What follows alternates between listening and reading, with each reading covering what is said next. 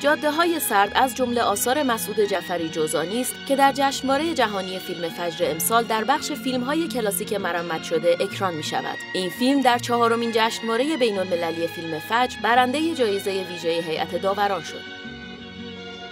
جاده های سرد روایتگر داستان اسماعیل است که در فصل زمستان ناچار می شود برای تهیه داروی پدر بیمارش به شهر برود. معلم روستا و جوانی به نام رحمان نیز با او همراه می شود. کند